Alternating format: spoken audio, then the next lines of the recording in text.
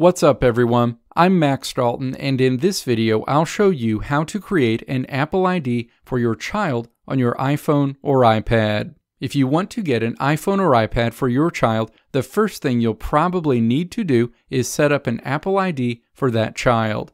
The best way to do this is by turning on family sharing on your Apple account and then adding that child to your family account.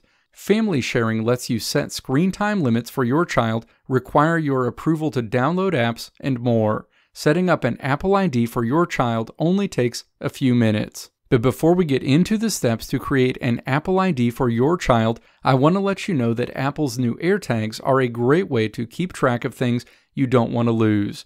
The little trackers can easily be attached to a backpack, pets, purses, kids, and more. I'll put links you can use to check out Apple AirTags and AirTag holders on Amazon in this video's description and pinned comment. Now let's walk through the steps to create an Apple ID for your child. Step 1. Launch the Settings app on your iPhone or iPad and then tap the area featuring your profile picture and account name at the top of the menu. The Apple ID screen is shown. Step 2. Tap Family Sharing in this menu.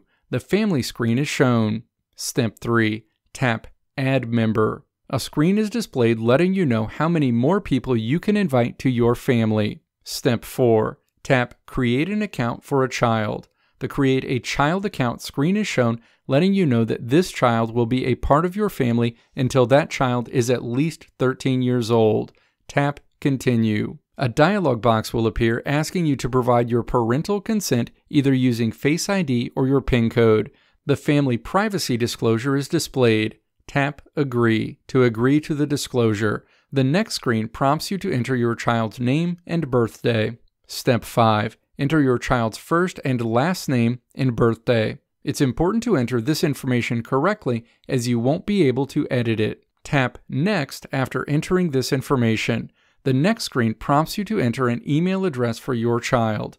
Note that if your child doesn't have an email address and you don't want to set one up for them, you can tap Don't Have an Email Address to proceed without using an email address. Step 6. Enter the email address you want to associate with your child's Apple ID and then tap Next. A screen prompting you to enter a verification code to confirm the email address you used is shown. Step 7. Enter the verification code received at that email address.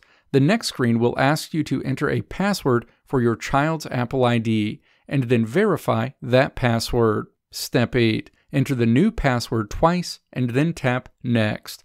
The next screen prompts you to either use your phone number to verify whenever your child's account is used to sign into a new Apple device or a different phone number. Make your selection. A terms and conditions screen is shown. Step 9 review the terms and conditions, and then tap Agree.